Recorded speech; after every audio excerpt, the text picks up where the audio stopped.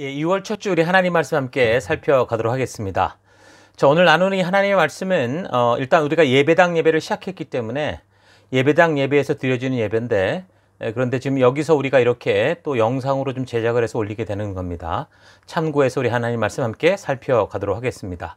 자, 오늘은 바울의 행적 어, 세 번째 예, 사도행전 16장, 17장에 관련된 말씀, 말씀의 가치대로 사는 삶이 전도다.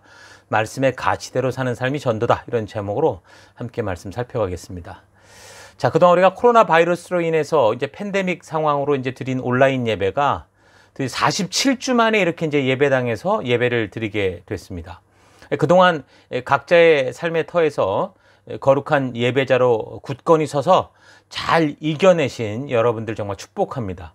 이런 상황 속에서도 여전히 이제 우리 각 성도들과 함께 하시고 또 진정으로 예배를 받으시는 그 주인이 누구신가라는 것을 알려주시고 함께 우리를 지켜주신 우리 하나님을 또 찬양하고 또 감사드립니다. 뭐 아직 어려움이 없어진 것은 아니지만 계속해서 잘 이겨갈 수 있도록 중보하면서 또한 무엇보다 사회적 거리두기를 비롯한 이 방역 수칙들을 좀 잘 지켜서 백신으로 지금 온 사회가 완전한 이 면역력을 가질 수 있기까지 건강하게 우리의 사회와 가정을 이 교회를 잘 지켜 나가도록 하십시다. 자, 우리 교회가 항상 왜 이 땅에 존재하는가를 되묻고 우리가 그것을 늘 마음에 새기고 있어야 됩니다. 그걸 생각해 볼 때 우리가 항상 뭐라고 그랬습니까? 교회 건물이 없어지고 이끌어주는 리더, 목사가 없어진다고 해도 예수 그리스도의 생명을 주고 부름받은 이 하나님의 자녀된 성도들이 스스로 그 삶의 터에서 예배자가 되고 또 교회가 되어서 생명을 낳는 생명을 세워가는 그런 존재가 되게 한다라는 그런 믿음으로 우리 교회가 사실 이런 질문을 근거로 우리 교회가 시작을 하게 됐었죠. 지금까지 달려온 겁니다.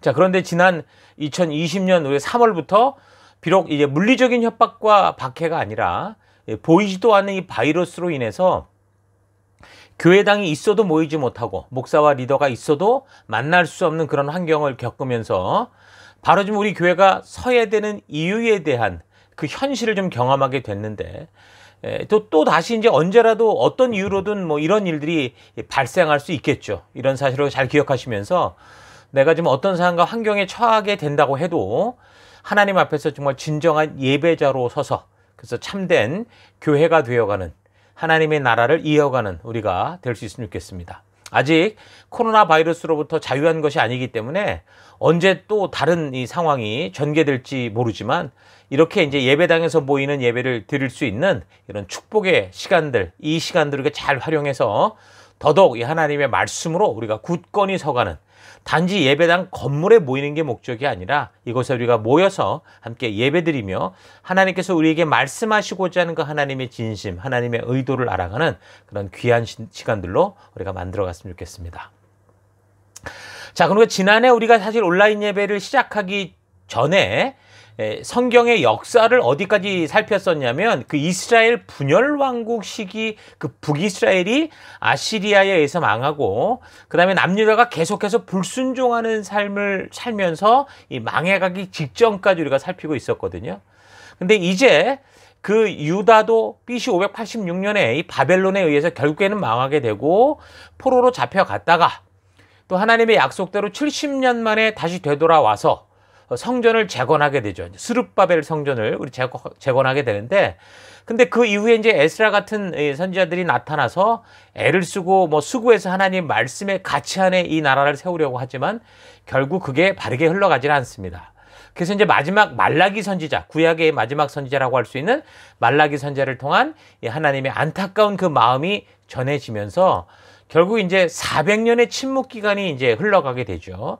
그래서 그 400년의 침묵 기간을 지나고 나서 드디어 이제 새 언약의 성취가 되는 예수 그리스도께서 오시고 또 이 땅에서 사역하시다가 십자가에 죽으시고 또 부활하신 후에 또 이 땅의 사역을 40일 동안 이루시고 승천하시게 되죠.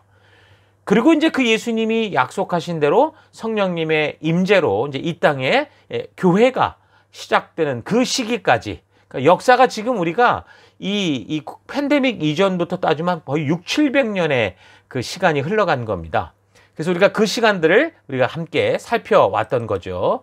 그리고 지금 이제 우리가 계속해서 삼위일체 하나님께서 이 새 언약을 그렇게 성취하시고 하나님 나라 이 교회를 직접적으로 주도하셔서 이 땅에 직접 심어 가시는 그 초대교회의 그 역사를 우리가 좀 살피고 있는 거죠. 자, 그래서 이제 교회를 그 처음에 이제 박해했던 사울이라는 사람이 예수님을 만나게 되고 또 변화되면서 온 열방을 향한 이런 그 이 일꾼으로 서게 되죠. 전도에 앞장서게 되는데 그래서 일차적으로는이 갈라디아 지역으로 그가 선교를 다녔었고 그리고 그 이후에 이제 할례와 같은 이 율법을 어떻게 적용해야 되느냐 이런 문제로 예루살렘 공의회가 또 벌어졌고요. 그리고 나서 이제 하나님이 주신 의도를 따라 믿음으로 살아가는 삶이 중요하다라는 것을 우리가 분명하게 이제 알게 되는 그런 일들이 있었습니다. 그리고 이제 지난주부터 우리가 이제 2차 전도 여정에 대해서 이제 살피기 시작을 한 겁니다. 그래서 그 여정에 처음부터 바울이 이 바나바와 예, 이 마가 요한이라는 사람으로 인해서 심히 다투게 되고 결국은 팀이 나뉘어져서 예, 바나바는 이 마가 요한과 이제 키프로스 섬 쪽으로 가게 됐고 그리고 바울은 신라라는 사람과 함께 예, 육지 통로를 이제 통해서 첫 번째 전도 지역이었던 갈라디아 지역을 이제 방문하면서 교회를 굳게 세우는 그런 일들을 살폈습니다. 그리고 이제 계속해서 바울 일행은 이어서 이제 소아시아 지역의 에베소나 또는 그것이 막히니까 이제 북쪽의 비두니아 폰투시 지역으로 이제 전도의 여정을 잡으려고 했지만 두 번 다 이제 성령께서 당신의 다른 뜻을 이제 알려주심으로 해서 바울 일행은 이제 계속 열려 있는 길을 따라 앞으로 나아가게 돼서 결국에는 무시아 지방을 지나서 이제 드로아까지 이제 가게 된 것을 우리가 살폈습니다. 그리고 이제 그곳에서 어, 이 바울이 환상을 보게 됐죠. 마케도니아 지경을 향한 그런 이 부름을 듣고 그래서 이제 그곳은 이제 배로 떠나서 사모트라케라는 곳으로 갔다가 그다음에 네오폴리스를 거쳐서 이제 빌립보까지 가게 되는데 이제 그곳에서 이제 처음 전도를 하다가 이 자주옥감 장사를 하던 루디아라는 여인을 만나게 되고 그리고 그 가정이 전부 이렇게 세례를 받고 아, 교회가 되는 그런 여정까지 우리가 지금 살피는 겁니다. 자, 그래서 이제 계속해서 우리가 내용을 살펴보면 이제 바울이 이 빌립보의 이 루디아 집을 거점으로 전도한 일을 이 감당하게 되는데 이제 그렇게 보면 이제 이것이 처, 서방 지역의 최초로 생긴 어떤 교회라고 볼 수 있을 겁니다. 근데 그 교회 형태는 어떤 겁니까? 마치 우리 교회가 지금 사역하고 있는 이 셀모인과 같은 그런 모습이었다라고 볼 수 있겠죠. 자, 그래서 16절 어, 우리가 기도하는 곳에 가다가 점치는 귀신 들린 여종 하나를 만나니 점으로 그 주인들에게 큰 이익을 주는 자라.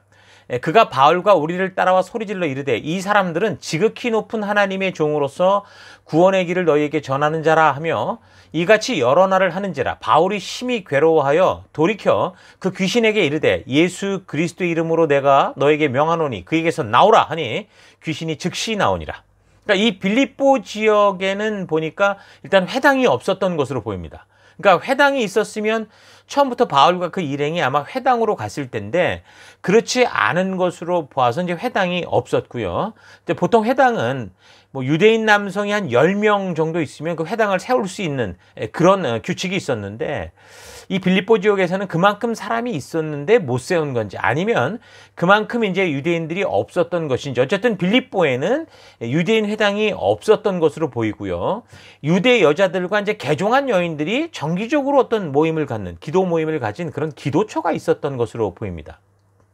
자, 그래서 그곳으로 이제 매일 기도를 하러 이제 이 바울 일행이 갔었었는데 이제 갈 때마다 이 악령에 사로잡혀서 점을 치면서 이제 자기 주인들에게 돈을 벌어주던 이 여종 하나가 계속 쫓아오면서 하나님의 종들이 구원의 길을 선포하다 막 이렇게 하니까 이제 바울이 이제 이 그 여자에게 붙어 있는 이 귀신을 꾸짖고 내쫓아 버리게 된 거죠. 자, 그러니까 자신들의 이익을 위해서 이 귀신에 사로잡힌 여종이 사실 고쳐줘야 되는 이 여종인데 이 여종을 이용해서 욕심을 채우던 이 사람들이 바울이 그 여종에게서 이제 점치는 귀신을 쫓아내 버리니까 이 관원들에게 아주 고발을 해버린 겁니다. 그 바람에 이제 바울과 신라가 이제 그 지역 치안관들, 관원들에게 이제 잡혀서 매를 많이 맞고 이제 감옥에 갇히게 되죠. 뭐 이게 지금 병든 자, 귀신 들린 자를 고치는 그러니까 참으로 사람들로 하여금 이 고통을 풀어주고 복된 삶을 살게 하는데 오히려 지금 어떻습니까? 그렇게 바른 일을 한 것으로 인해서 세상이 핍박하고 지금 어렵게 예, 만들고 있는 거죠. 그러니까 세상이라는 게 그렇습니다. 그러니까 잘 보면 자신들의 욕심을 건드리면 이게 시기와 질투로 인해서 누구라도 가차없이 이제 없애버리려 하는 그런 모습이 세상의 모습인 거죠. 그래서 복음은 그런 세상의 삶과 부딪히기 때문에 그 지금처럼 병든 자, 귀신에 눌린 자들을 자유케 하고 치유케 하잖아요. 근데 그것을 갖고 이용하던 사람들과는 부딪히게 되니까 그러니까 믿음으로 바르게 말씀을 따라 살아가는 사람들의 현실이 이 세상에서는 이런 부분 때문에 녹록치 않을 수 있다라는 겁니다. 그러니까 거짓되고 부정한 것들을 고치는 일이 복음의 일인데 그 거짓과 부정한 것을 근거로 자신의 욕심을 채우는 이 세상이 볼 때는 자기들 손해고 기득권을 뺏가는, 뺏기는 그런 상황이 되니까 적대적이 되고 공격하게 되는 겁니다. 물론 그렇다고 해서 뭐 예수 믿고 사는 모든 일에 있어서 세상이 다 그런 거는 아닙니다. 그러니까 바울이 복음을 따라 그렇게 살아갈 때 이렇게 사람을 도와주고도 오히려 지금 매 맞고 핍박당하고 감옥에 갇히는 그런 일도 뭐 종종 있었지만 또 뭐 생각해 보면 이 빌립보에서 루디아 같은 이 여인도 만났고 또 그 전에 누가 그 전에 디모데 같은 좋은 동역자들도 만날 수 있었죠. 근데 분명한 것은 사실 세상만이 아니라 교회를 다닌다고 하는 사람들도요, 자기에게 불이익이 되거나 이 자기가 원하는 대로 되지 않으면 그 시기하고 질투하면서 결국 상대를 헐뜯고 뭐 은근히 공격하고 협박을 하는 그런 것들을 볼 수 있죠. 자, 그래서 잘 생각해 보면 우리가 복음을 전하는 것으로 인해서 사실 그것 때문에 세상이 박해를 한다고 볼 수는 없다고 봅니다. 복음의 메시지가 뭡니까? 저들에게 영생의 길을 알려주는 거고 하나님이 사랑한다는 그런 얘기를 전하는 거고 또 저들이 아파하고 병든 것들을 치유하고 회복하려는 것이기 때문에 사실상 복음이 주는 메시지는 환영받을 수 있다고 봅니다. 누가 이런 것들을 싫어하겠습니까? 그런데 그렇게 복음이 바르게 전달됨으로 인해서 결과가 자기들이 손해를 보고 자기들이 추구하고자 하는 것들에 방해가 되면 이제 싫어하는 거죠. 귀찮아하고 심하면 조롱하고 비아냥거리고 그리고 지금처럼 뭔가 자기들의 어떤 욕심, 자기들의 이익에 문제가 생기면 공격하고 죽이려고 하게 되는 겁니다.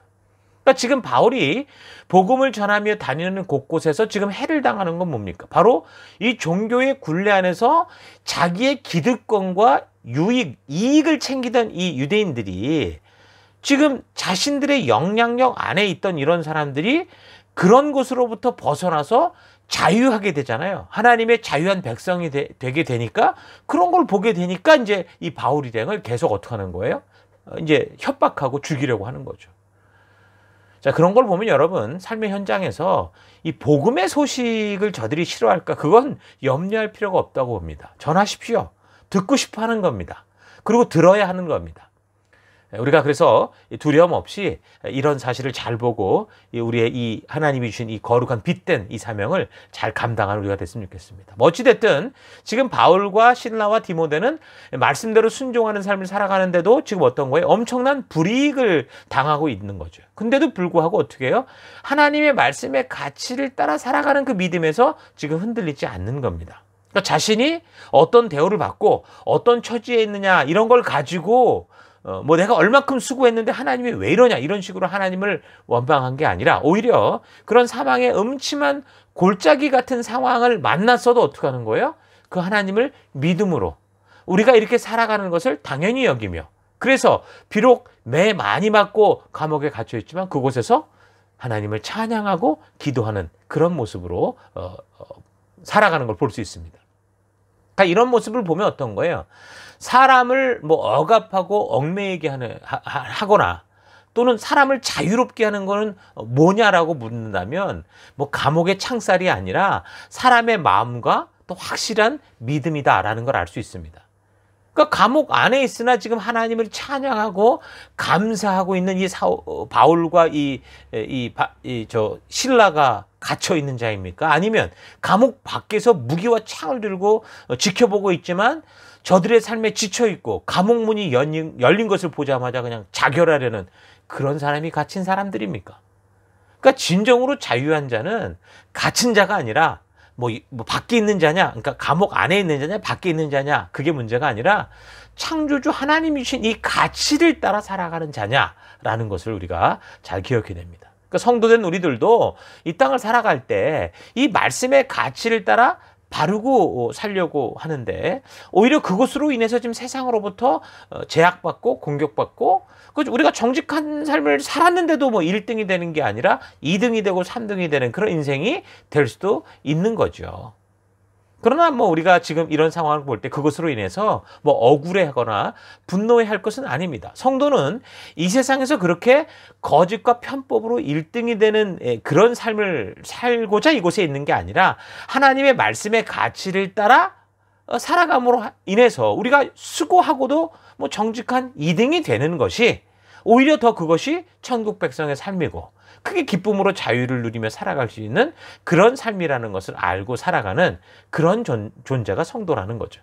그래서 이 세상에 그렇게 어두운 방법으로 이 세상이 그렇게 어두운 방법으로 지금 살아가고 있잖아요.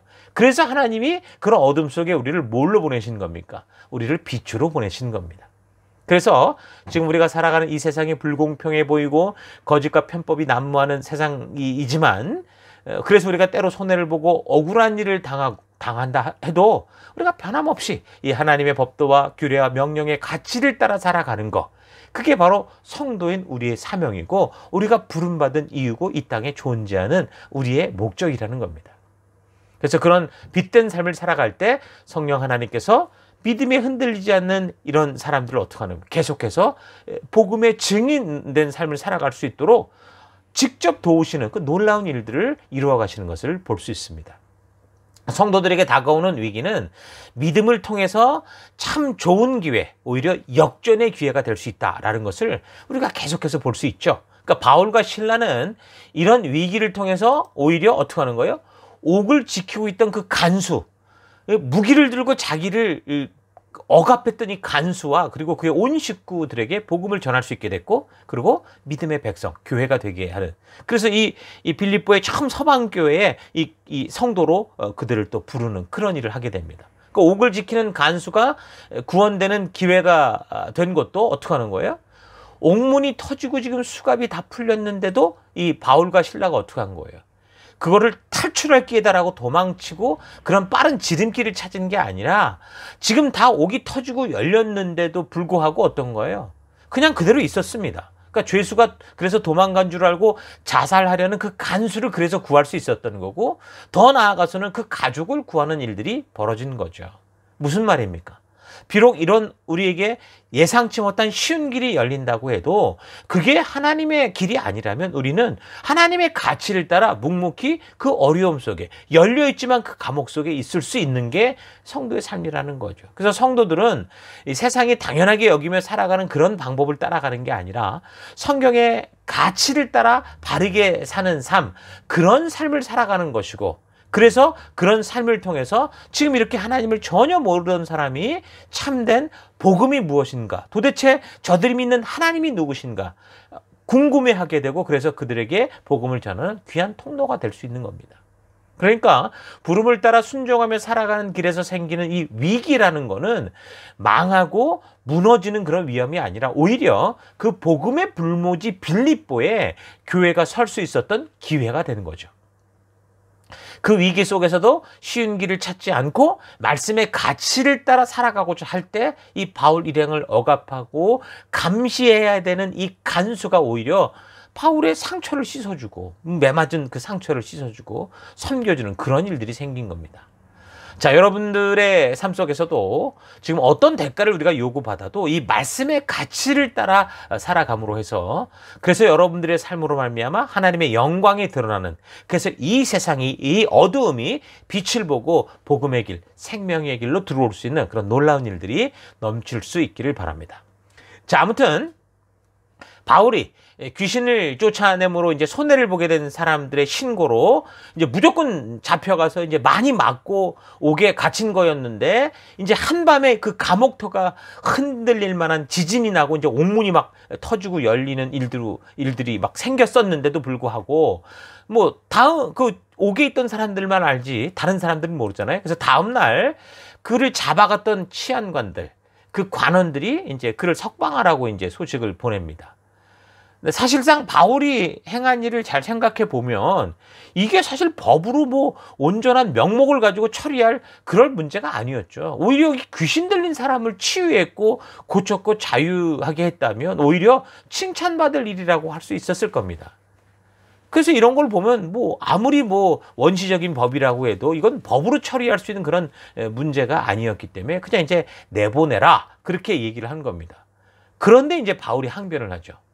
내가 로마의 시민인데 너희가 지금 아무런 재판도 없이 사람을 마구 때리고 지금 옥에 가두었다가 이제 뭐 그냥 어 그냥 가라 그렇게 하면 끝이냐 그러면서 그렇게 행동한 사람들을 에게 너가 이리 와서 직접 사과하고 나를 석방해라 그런 식으로 얘기를 하죠. 그러니까 이 왜 그랬냐면 이 바울이 나면서부터 이 로마의 시민권을 가지고 있던 사람이었습니다. 그러니까 대단한 거죠. 그러니까 바울의 아버지가 어떤 연유로든 로마의 시민권을 가졌던 이 사람이었기 때문에 바울은 이제 태어나면서 부터 이제 로마의 시민의 자격을 가지고 이제 태, 어난 거죠.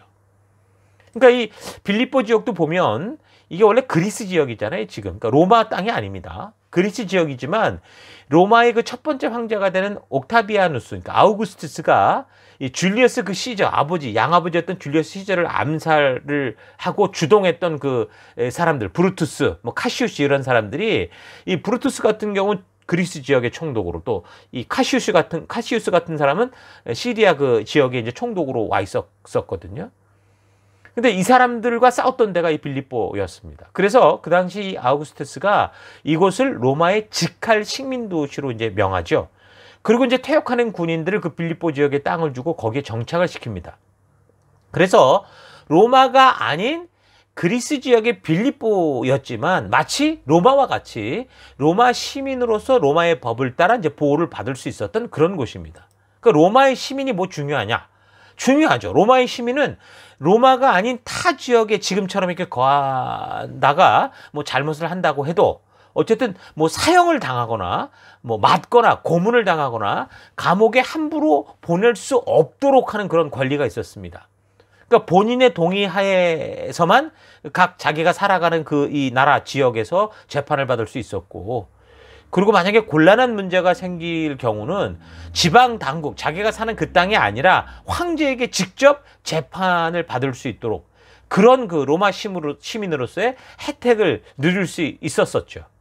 그래서 뭐 나중에 보면 이제 우리가 살피지만 바울이 유대인들이 결국 붙잡혀가지고 공경에 처하게 될 때 결국에는 로마 시민으로서 자기가 이제 황제에게 상소를 하면서 그래서 마지막 그 이 바울의 4차 전도 여행이라고 하는 그 로마로 가는 그 일들이 벌어지게 되는 겁니다.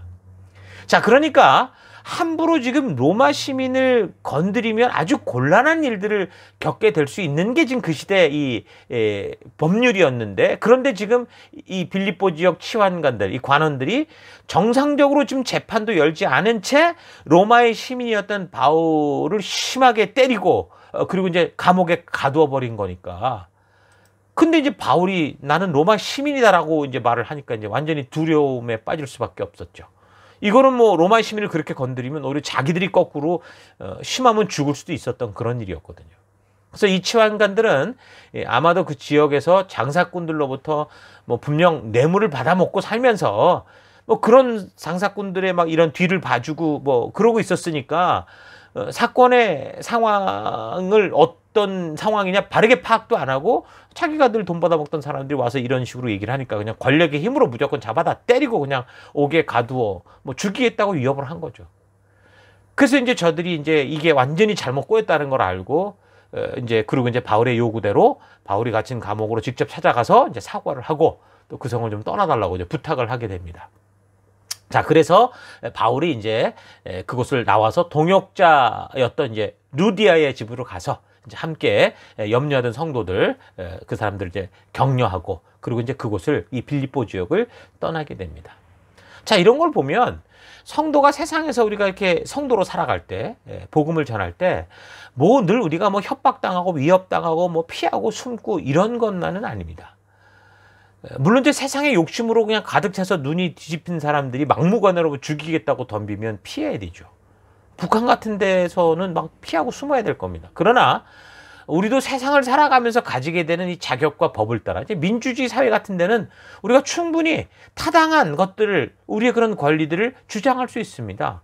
그러니까 그럴 필요도 있는 겁니다. 그러니까 예수를 믿는다고 앞뒤 없이 그냥 무조건 당하는 그런 인생이 아니라 바른 지혜를 가지고 함께 살아가는 사회의 규칙에 따라 타당하고 바른 것들을 온전하게 주장하고 그리고 이 사회가 거짓된 것으로 가지 않도록 하나님의 의도가 담긴 이 법치 사회를 만드는 그런 일에도 우리가 힘을 쓸 필요가 있습니다. 자, 이런 사실 잊지 마시고 정말 우리의 삶에서는 어, 이런 뭐 비둘기처럼 순결한 마음으로 살아가야 되겠지만 그러나 또 이 세상 속에서는 좀 뱀같이 지혜로운 그 예수님이 우리에게 말씀해 주신 거 아닙니까? 그런 지혜를 가지고 하나님이 주신 하나님이 주신 권리를 이 세상 속에 우리가 온전히 누리며 살아갈 수 있는 우리가 될 수 있기를 바랍니다. 자, 그렇게 해서 이제 17장 이제 바울 일행이 이제 빌립보 지역을 떠나서 다른 지역으로 이제 가게 되는데 그래서 17장 1절을 보면 그들이 안비볼리와 아볼로니아로 다녀가 데살로니카에 이르니 거기 유대인의 회당이 있는지라. 여기는 분명히 유대인의 회당이 있었습니다. 이제 바울 일행이 이제 빌립보를 떠나서 결국 데살로니카로 가게 되는 거죠. 이 데살로니카라는 것도 어, 다 여기는 이제 지금 마케도니아의 또 제2의 수도라고 할 수 있었던 곳입니다. 자, 그래서 2절 바울이 자기의 관례대로 그들에게 들어가서 새 안식일에 성경을 가지고 강론하며 뜻을 풀어 그리스도가 해를 받고 죽은 자 가운데서 다시 살아나야 될 것을 증언하고 이르되 내가 너희에게 전하는 이 예수가 곧 그리스도라 하니 그 중에 어떤 사람 곧 경건한 헬라인의 큰 무리와 적지 않은 귀부인도 권함을 받고 바울과 신라를 따르더라. 그러니까 데살로니카에서 지금 보니까 불과 3주 동안 그가 회당에서 설교를 했다라는 거죠. 다른 게한게 아닙니다. 성경을 가지고, 그러니까 성경과 역사를 가지고 그것을 풀었다라는 거죠.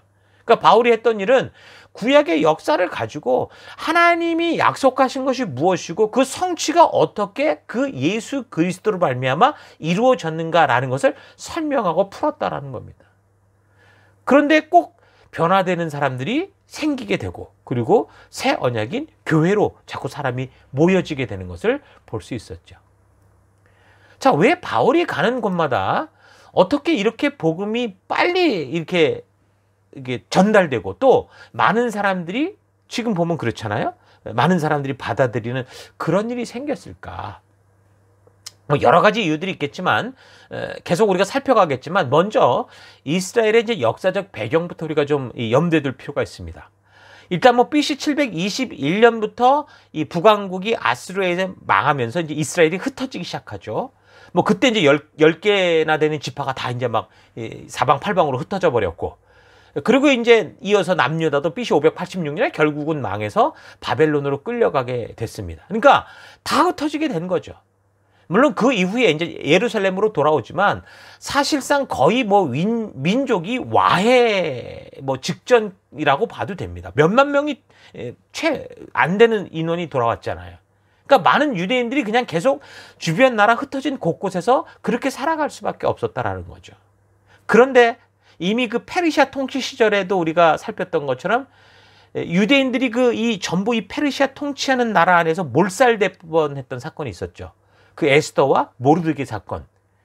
그런 것이 있었던 것처럼 이렇게 흩어지고 쫓겨난 유대인들은 나라를 잃은 소수민족이었었기 때문에 어디를 가든지 무시당하고 핍박받고 그렇게 방황할 수밖에 없는 그런 상황이었습니다. 그러니까 그 시대에 만약에 정착을 하고 살려고 하면 뭐가 필요합니까? 땅이 필요하죠. 농사를 지으니까. 그런데 이런 유대인들에게는 그렇게 땅과 같은 정착지, 발전하고 성장할 수 있는 건물 이런 것들을 이렇게 가질 수 있는 기회가 주어지질 않았죠. 그래서 어, 저들은 이제 생존을 위해서 어떻게 했냐면 땅이 필요한 농촌보다는 도시를 중심으로 이렇게 모여서 살아야 됐고 그리고 언제든 만약에 그러다가 위기를 만나면 또 금방 빨리 그냥 도망칠 그럴 준비를 하고 살아야 됐습니다. 그래서 저들이 무슨 재산을 가지려고 하면 뭐 토지나 땅, 건물, 그러니까 이런 것들을 가질 수는 없었고 그러다 보니까 금, 은, 보석, 현금과 같이 그러니까 빨리 들고 이제 도망칠 수 있는 그런 것들로 이제 그들이 이제 그들의 삶을 위한 재산들을 모아야 됐죠. 그러니까 그렇게 현금이나 다를 바 없는 금과 같은 이런 것들을 모으다 보니까 그러니까 당장 이 현금이 필요한 현물이 필요한 사람들에게 이제 돈을 빌려주는데 고의자로 빌려주는 거죠. 그러니까 고리대금업과 같은 그런 일들을 할 수밖에 없었던 겁니다. 그래서 저들은 말하자면 어떻게 보면 금융업의 기초가 되는 그런 일들과 더불어서 이제 무역업을 장사를 하게 되는 거죠. 그러니까 자신들의 재산을 지키기 위해서 다른 도시들은 어떤 상황인지 이런 것들도 잘 알았어야 됐고 그리고 자금도 어, 아무리 빨리 들고 간다고 하더라도 어, 이 그렇지 못할 수 있으니까 분산시킬 필요도 있고 그래서 이제 어느 지역을 가도 저들이 생존할 수 있는 그런 방법들을 자꾸 찾게 되는 겁니다.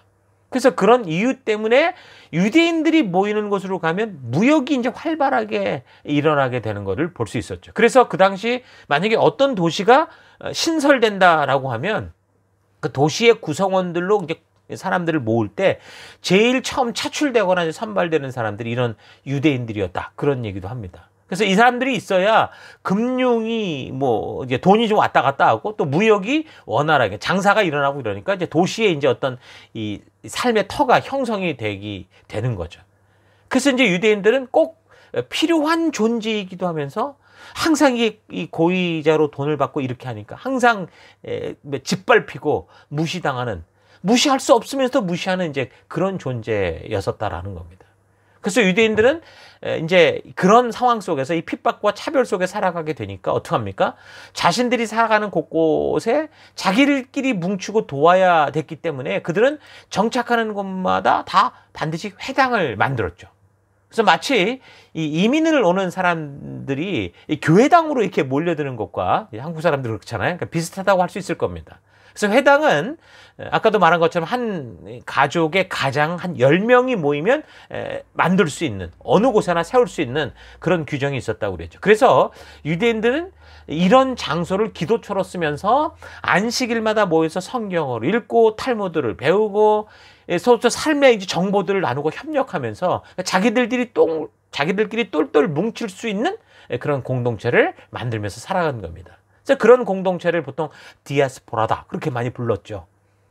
그들이 이제 언제 박해당하고 쫓겨날지 모르는 외국에서 살아남기 위해서 이렇게 고리대금업과 같은 일들을 하고 이런 식으로 뭉쳐 살았지만 유대인들의 대부분의 삶이 뭘 중심으로 살았냐? 율법을 중심으로 살았습니다. 율법주의라고 할 만큼 좀 과하게 어쨌든 믿기도 했지만 붙들 게 그거밖에 없었잖아요. 그러니까 율법에 순종하는 삶을 어찌됐든 살려고 했다라는 거예요. 그래서 이 사람들이 그 결과 도덕적으로 볼 때 좀 경건하고 또 일반 세상 사람들보다는 항상 좀 규모 있게 살고 좀 반듯하게 살고 그리고 성적으로도 이렇게 물란하지 않고 가주, 가정을 소중히 여기는 그런 삶의 그 태도를 취하고 살았었습니다. 그래서 이런 것 때문에 이방인 세상에서 볼 때 유대인들은 좀 쫀쫀해 보였긴 했어도 그래도 아주 성실한 사람들로 인식이 됐다라는 거죠.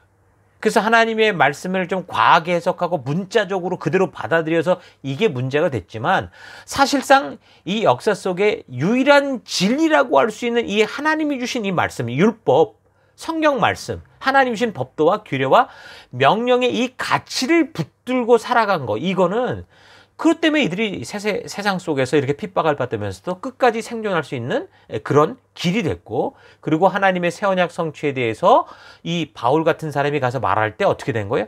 많은 사람들이 빨리 알아듣게 된 거라는 거죠. 그래서 이런 면에서 볼 때 이, 이 율법을 중심으로 사, 사는 삶, 좀 과하더라도 그 삶이 중요하다고 그랬잖아요. 이런 걸 볼 때 지금도 세상 사람들이 교회에서 이제 말씀의 가치를 따라 살아가는 이 남자들을 뭐 소위 뭐 교회 오빠다 뭐 그러면서 뭔가 착한 것 같은데 남자적 남자적인 어떤 이 마초적인 매력도 없고 뭐 세상에서는 뭔가 뒤처지는 그런 사람처럼 그렇게 부르는 경우가 있습니다. 왜 그런 소리를 합니까? 그러니까 저들이 볼 때 세상이 볼 때 세상에 갇혀는 뭔가 다른 삶을 살고 있는 거죠. 뭔가 어디 어, 뭐 연애를 하든 뭘 하든 뭔가 절제하는 삶이 있다라는 거죠. 다시 말해서 하나님 보시기에 온전하고 바른 삶. 그러니까 적어도 내가 잘 지키든 못 지키든 어쨌든 하나님의 말씀이 말씀해 주는 기준을 따라 살아가려는 삶의 태도가 있다라는 겁니다. 그래서 세상에서 뭐 교회 오빠, 나쁜 남자 이걸 구분하면서 이렇게 하는 그런 이야기 비교를 잘 들어보면 그 핵심이 뭐냐면 그러니까 하나님이 주시는 말씀의 가치까지도 우습게 여기고 감정과 느낌대로 살아가는 그런 사람이 마치 남자 같고 뭐 어, 마초고 나쁜 남자고 어? 그렇지 않은 사람은 뭐 교회 오빠고 이런 식으로 그러니까 하나님의 말씀조차 무시하는 그런 경향이 있는 걸 가지고 지금 이렇게 뭐 교회 오빠냐 나쁜 남자를 구분하는 걸 볼 수 있습니다. 그래서 자칫 세상에서 교회 오빠라는 평가를 받을 때 자신은 뭔가 부족한 것 같고 막 그렇게 생각이 드니까 세상이 살아가는 흉내내는 그 나쁜 남자식 삶을 흉내내려는 그런 경우도 있고 이 뭐 교회를 다닌다고 하면서 말씀의 가치를 잘 모르니까 그런 남자가 좋은 남자라고 또 착각을 일으키는 그런 여자들도 많이 있죠. 여러분 그런 세상의 유행을 따라가는 그런 삶이 되지 않기를 바랍니다. 세상이 나를 뭐라고 부르냐가 아니라 지금 하나님이 나를 어떻게 보고 계신가가 중요한 것입니다. 좀 세상이 볼때 그 지금 유대인들처럼 뭐 쫀쫀하다, 뭐 어쩐다 이런 소리를 들어도 이 말씀의 가치를 붙든 인생이 뭐예요? 참된 축복을 누리는 인생입니다.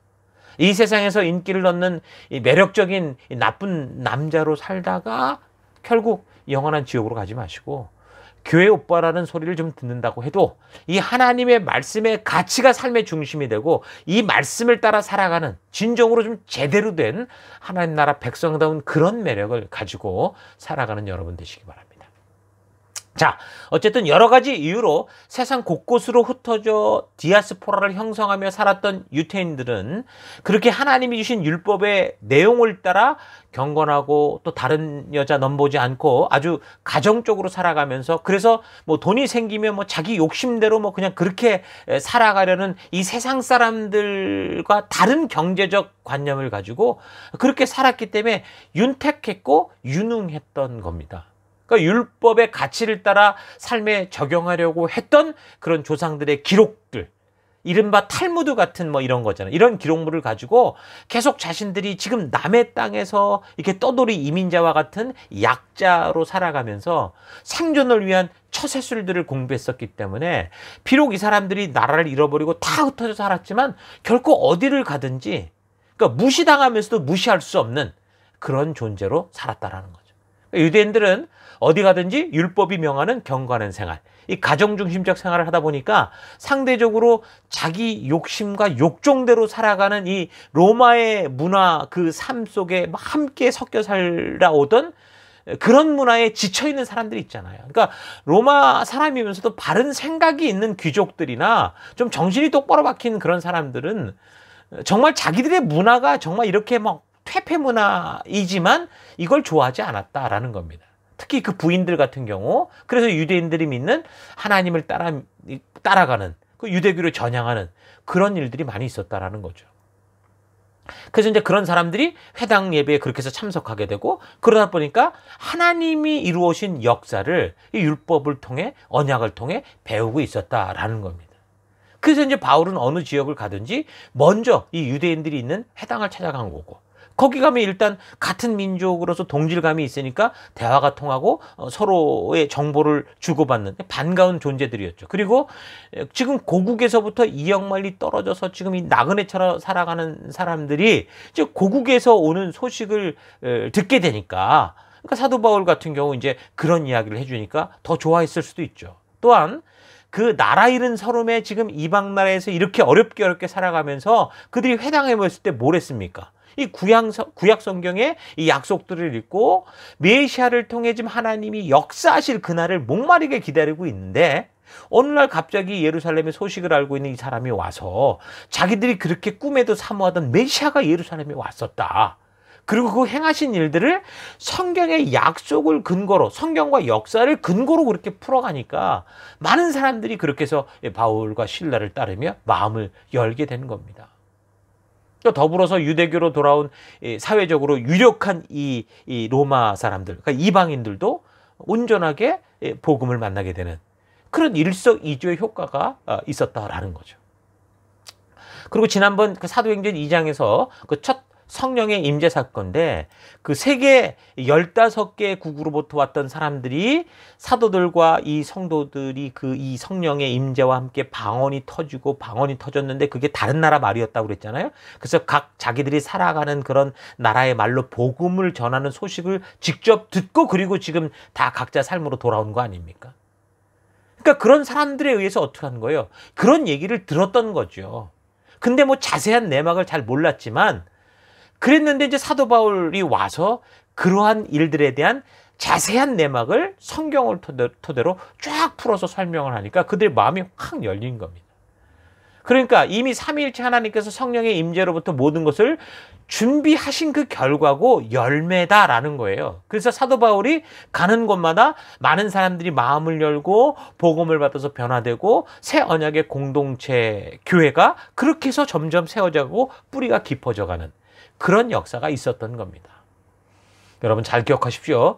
바울은 지금 가는 곳마다 자신의 말재주 어, 그리고 뭐 성경 한 구절 읽어준 다음에 뭐 자기가 겪은 간증의 얘기 뭐 이런저런 얘기로 그렇게 사람들을 이렇게 현혹시킬 게 아니라 그가 했던 일은 다른 얘기가 아니었습니다. 이 성경과 역사를 일일이 풀어서 왜 예수가 그리스도가 되시는지, 하나님이 어떻게 그를, 이, 이, 어, 그를 통해 일하셨는지 그 하나님이 하신 일을 알게 한 거예요. 그래서 그런 일들 하게 될 때 이미 성령이 만든 텃밭에 그 준비된 이 말씀들로 인해서 어떻게 되는 거예요? 새 언약 공동체인 교회가 점점점 성장해가는 그런 일들이 생겼다라는 겁니다. 자, 이런 걸 보면 우리가 복음을 전할 때 복음을 단순간에 뭐 누군가가 받아들일 거다. 그렇게 큰 기대를 하지 않는 게 좋습니다. 그러니까 자기 상황이나 지금 그 자기 상황이 최악의 경우고 여러 가지로 좀 갈급한 도움이 필요할 때는 이 복음이 쉽게 받아들여지는 것 같거든요. 그러니까 물에 빠진 사람이 지푸라기라도 잡는 그런 심정이기 때문에 근데 사실 그때 복음이 들어가도 이게 바르고 온전하게 들어가는 게 아니라 자기가 필요한 것을 붙들었기 때문에 부분적으로 그러니까 자기가 이해하는 거 자기가 알게 된 거 경험한 것만 알게 되는 될 뿐이죠. 그래서 이제 그런 기회가 터닝 포인트의 기회니까 그래서 교회에 꾸준히 나오고 예배에 나오면서 그래서 이제 말씀을 점점 배워가고 하나님의 말씀으로 이제 성경과 역사를 통해 아 하나님이 이런 분이셨구나 아 내가 이렇게 부름 받았구나 이렇게 확실해지면 이제 믿음이 단단히 서면 좋겠지만 대부분 보면 그렇게 들어온 사람들이 자기가 원하는 그 원틀을 채웠던 거잖아요. 그러니까 하나님을 생각할 때도 자기가 원하는 것을 자기가 이렇게 할 때 줬던 분이다라고 기억하기 때문에 본의 아니게 이제 하나님에 대한 오해가 많죠. 그래서 이제 진정한 복음이 들어갈 때, 그러니까 자기가 생각했던 하나님이 아니라, 어, 이게 뭐야? 왜 이런 하나님이야? 이제 이런 충돌이 일어, 일어나는 거죠. 그러니까 마치 오병이어의 그 기적을 체험하고 나서도 어, 그 예수님의 진정한 그 이 복음이 전파될 때 변질돼서 예수님을 떠난 그런 사람들처럼 되는 경우가 많습니다. 그래서 예배와 말씀을 통해서 하나님의 뜻이 무엇인지를 제대로 듣게 되면 하나님의 이제 자녀가 돼서 믿음으로 살아가는 이 삶이 지금 얼마나 내가 살아왔던 세상의 가치와는 완전히 다른가 이걸 알게 되고 그래서 이제 우리가 이런 삶을 살 때 어, 어쩔 수 없이 저항과 환란에 부딪힐 수밖에 없구나라는 걸 알게 되고 또 그런 믿음의 삶을 결단하게 돼야 되는 거죠. 또한 성도의 삶이라는 게 뭐예요? 말씀을 잘 들어보면 그냥 나 혼자 그냥 복 받고 잘 되고 헌금 내고 축복 받고 이런 게 아니라 날마다의 삶에서 좀 하나님과 늘 동행하는 삶. 교회 안에 속하고 하나님께서 주신 사명을 감당하는 삶. 그래서 하나님이 예, 또이 예수 그리스도로 말미암아 또 우리를 뒤따라 교회에 들어오게 하는 이 생명들을 또 바르게 세우고 바르게 키워서 생명을 낳는 생명을 세우는 그런 책임이 우리가 존재하는 이유다. 성도가 교회로 모이는 이유다라는 걸 알게 될 때 어떻게 됩니까? 또 이제 흔들리게 되죠. 뭐 교회를 떠나기도 하고 또 교회에 있긴 있으면서 하나님의 뜻대로 가지 않고 변질된 미신적 신앙으로 이렇게 빠지게 되는 경우도 있는 거죠. 자, 그러므로 복음을 전할 때 뭐 기도 빡세게 하고 가면 그 사람이 막 한순간에 막 변화되고 막 이렇게 생각하지 마시고 예수를 전하고 믿게 돼서 하나님의 자녀가 되기를 기대하지만 무엇보다 중요한 것은 어떤 거예요? 그런 기회를 통해서 이제 우리가 함께 살아가야 된다는 거. 그래서 내 삶을 통해서 꾸준히 하나님의 이 말씀의 가치를 따라 내가 살아감으로 내 삶 속에서 예수 그리스도의 향기를 내고 그리고 우리가 기회가 될 때마다 입을 벌려서 성경과 역사를 통해 이 복음의 시작과 끝을 가감없이 그렇게 전하고 외치는 그런 일들을 멈추지 말아야 되는 겁니다. 그렇게 복음의 가치를 기경해 가다 보면 분명히 바른 복음이 온전히 심어지게 됩니다. 그래서 하나님은 늘 그렇게 동일한 복음의 씨앗을 우리를 통해 누구에게나 뿌려주십니다. 근데 그 씨를 받는 사람들의 마음 상태가 뭐 길가밭이 될 수도 있고 돌짝밭이 될 수도 있고 가치, 가시밭이 될 수도 있고 또 옥토밭이 될 수도 있는 거죠. 거기에 따라 지금 이 열매가 맺혀지는 게 다른 겁니다. 그래서 우리가 성도로서 복음을 전하는 이 전도인의 삶을 살아갈 때 가장 중요한 사명은 뭐냐? 그건 그냥 내 주변에 사는 사람들의 그 마음밭을 기경하는 거다 라고 우리가 볼 수 있는 거죠. 어떻게 기경을 합니까? 내가 먼저 하나님의 말씀대로 성실하게 살아가는 거예요. 그리고 약속도 잘 지키는 거예요. 그리고 저들의 영혼을 소중히 여겨서 사랑하고 관심 갖고 배려하고 그리고 계속해서 복음이 어떤 것인지를 삶을 통해 알려주고 그래서 하나님 나라 백성들의 삶을 우리가 살아가는 그 삶을 보여줘야 된다라는 거죠. 그래서 성도들의 삶의 에, 삶이 이 세상 흉내 내지 않고 율법의 가치를 따라 살아가는 것이 얼마나 중요한지 모릅니다. 그게 바로 복음 전거. 그러니까 성도들의 삶 그 자체가 다른 그 무엇보다 강력한 가장 강력한 복음의 증거가 된다라는 이 사실을 잊지 마시고 내가 무슨 말을 잘하고 잘 전달한 어떤 재주를 부려서 사람을 이끌려는 게 아니라 이렇게 말씀의 가치를 따라 내가 내 삶의 현장에서 그렇게 살아감으로 그런 성도의 삶을 살아내는 거 그게 가장 강력한 복음 전조다라는 거 잊지 마시고 그런 삶을 살아가는 여러분과 제가 됐으면 좋겠습니다. 우리가 성도라고 해도 삶을 살아가면서 여러 싸움에 휘말리기도 하고 많은 실수도 하게 될 겁니다. 그러나 예를 들어서 부부 싸움과 같은 일이 없을 수는 없지만 이게 이제 그저 서로를 파괴하기 위한 싸움이 아니라 이 말씀의 기준이 있으니까 그 말씀이 주는 가치를 따라 서로 좀 더 바르게 알고 세워져 가는 그런 건설적인 싸움이 되게 하는 거. 그런 게 우리가 할 바라는 거죠. 사람이 살아가면서 말의 실수, 삶의 실수를 할 수밖에 없지만 그것이 반복되지 않고 시간이 갈수록 성경이 말씀해 주시는 하나님 나라 백성의 그 가치를 따라 살아가는 성숙한 삶으로 변화돼 가는 거, 성장해 가는 거. 그게 바로 뭐예요? 그게 바로 우리의 삶이 전도가 되게 하는 겁니다. 그래서 우리의 모든 삶 속에서 그 삶의 길이 하나님의 말씀의 가치를 따라 아, 살아가는 거다.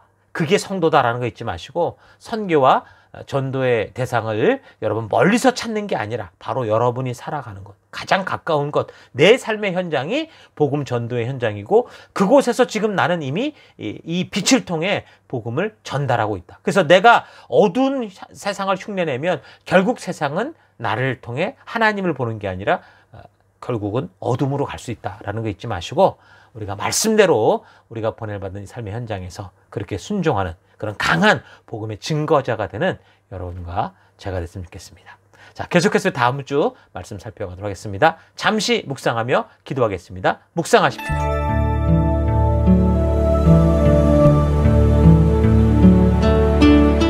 예, 세상은 우리가 전하는 복음을 거절하지 않습니다. 오히려 생명과 축복, 영생과 치유를 전하기 때문에 좋아합니다. 근데 이제 그들의 욕심이 건드려지고 이익의 손해가 생기고 기득권을 빼앗기고 그래서 이제 시기와 질투가 생기면 이제 목숨 걸고 죽고자 이제 덤비는 그런 협박을 하게 되죠. 사실 교회 안에서도 잘 보면 우리가 다 하나님의 영광을 위해 모인 성도들인데도 불구하고 서로 이제 자칫 시기와 질투의 함정에 빠지면 이제 교회는 더 이상 교회가 아니라 세상과 같아지고 지옥이 되는 경우가 있죠. 그래서 우리가 우리의 삶을 잘 되돌아볼 수 있기를 바랍니다. 나의 삶에서 칭찬, 나의 삶에 내 삶이 정말 칭찬받는 삶인가? 내가 살아가는 곳곳에서 사랑받는 삶인가? 우리가 잘 되돌아볼 필요가 있습니다. 그래서 우리가 겸손히 정말 주의 말씀이 내 삶을 통해 드러나는 그런 성도의 삶을 우리가 살아가는 우리가 됐으면 좋겠습니다. 예, 바울의 이제 전도 행적을 볼 때 어땠다고 그랬습니까? 이 복음이 빠르고 넓게 전파될 수 있도록 이미 하나님께서 모든 이 그이 그, 텃밭을 만드셨다고 그랬죠. 오랜 동안 그 일들을 이루어 오셨다고 그랬습니다. 그래서 예수님을 보내셨고 오순절 성령 임재를 통해서 이미 그 경험한 사람들로 하여금 곳곳에 복음이 뿌려질 그 밭을 일구는 그런 일들을 하셨다고 그랬습니다. 오늘 우리가 살아가는 삶의 현장도 아마 이미 예수 그리스도의 피와 성령의 역사로 이제 곧 추수하여 곡식을 거둘 수 있는 그런 준비가 되어 있은 되어 있는 그런 곳이라고 볼 수 있습니다. 예수님께서도 우리에게 추수할 것이 많으니까 일꾼을 보내달라고 기도하라 그렇게 말씀하신 적이 있었죠. 여러분 그러므로 담대하십시다. 우리가 셀로 모여 생명을 낳는 생명을 세우고 또 새롭게 또 만나게 되는 사람들에게 이 생명과 축복과 치유의 복음을 전하는 것에 우리가 정말 담대하고 두려움 없기를 바랍니다. 그래서 삶이 우리가 성경이 되는 삶을 살아갈 때 말로 전하는 것도 중요하지만 우리의 삶이 그리스도의 향기가 어, 나올 때 그럴 때 이제 교회 와달라고 하지 않아도 교회 오기 원하고 교회 함께 하고자 사람들이 우리를 붙들게 될 겁니다. 그래서 이 한 주간도 우리가 그렇게 각자의 삶의 현장에서 그런 삶이 성경이 되고 삶이 복음이 되는 그런 삶을 살아갈 수 있기를 바랍니다. 그래서 그런 다짐을 가지고 우리 함께 잠시 기도하기 원하는 것은 하나님 복음을 말로만 전하려 했던 것을 용서해 주옵소서 회개하시고 내 삶이 칭찬받는 삶, 믿을 만한 삶, 사랑받는 삶, 성경과 복음이 되는 삶 살기 원합니다. 내가 선 어느 곳에서나 그리스도의 향기가 되기 원합니다. 이 한 주간 내 삶의 현장에서 말씀의 가치를 따 살아내는 진정한 전도인의 삶 되기 원합니다. 잠시 묵상에 기도하겠습니다. 기도하십시다. 하나님, 정말 주님께서는 온 세상 누구라도 정말 듣고 싶어 하는 그런 귀한 정말 복음, 정말 복된 이 소식을 전할 수 있도록 우리를 보내셨는데 하나님 이 복음을 말로만 전하려고 했던 것을 회개합니다. 용서해 주옵소서. 하나님 무엇보다 내가 복음을 아는 자로 그 복음을 따라 살아가는 그 내 삶이 칭찬받는 삶, 믿을 만한 삶, 사랑받는 삶, 하나님 성경과 복음이 되는 삶, 내 삶을 볼 때 성경이 보이고 내 삶을 볼 때 하나님 복음이 보이는 삶 살아가기 원합니다. 내가 선 어느 곳에서나 그래서 그리스도의 향기가 되기 원합니다. 하나님 이 한 주간 우리 각자가 보낼 받은 삶의 현장에서 그런 말씀의 가치를 따라 정말 진정한 주님의 마음이요 주님의 심장이 담긴 그런 성경으로 살아가는 우리가 되기 원합니다. 그런 진정한 전도인의 삶 살아갈 수 있도록 인도하여 주셔서 인도하여 주옵소서 함께 하심을 감사드리고 예수님 이름으로 기도했습니다. 아멘.